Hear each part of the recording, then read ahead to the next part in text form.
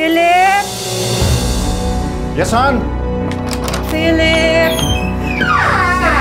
Ah, uuwi na nga po ako eh kasi may duty pa po ako mamaya. Magpapasok pa po ako sa trabaho. Sandali lang, Miller.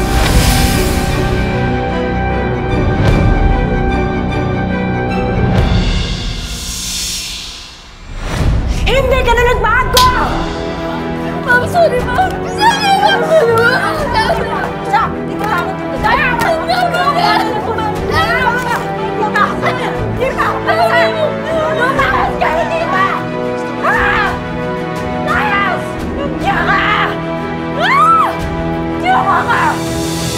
Kasi, Babu, babu. Bakit? Okay ka lang?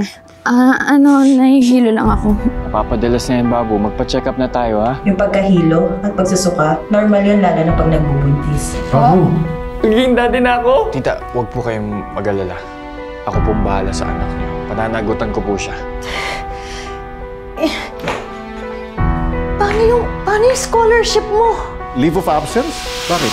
Ayaw mo na ng financial aid? Hindi po, dahil buntis po ako. Buntis ka.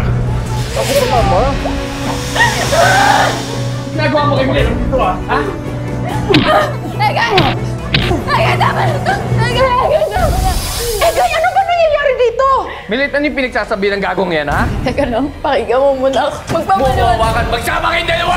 Teka, teka lang sila. Teka, Ilusyonada yung anak mo. Ikaw ha, hindi kasama sa scholarship na binigay ko. Ang aking asawa. Magkano bang kailangan mo, ha? Magkano kailangan mo para ipalaglag yung dinadala mo? Magkano? Hindi ko po ipapalaglag yung bata. Hoy! Ah, kapal ang mukha mo! Ano ka ba? Wala kang karapatang saktan ng anak ko! Hindi! Kahit na mahirap kami, wala ka pa rin karapatan na bastusin kami! Nanganak na si Milet. We have nothing to do with that child. Anak ko siya.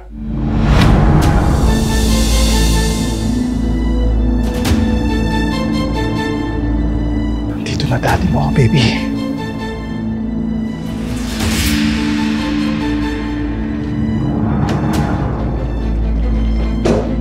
Nikki?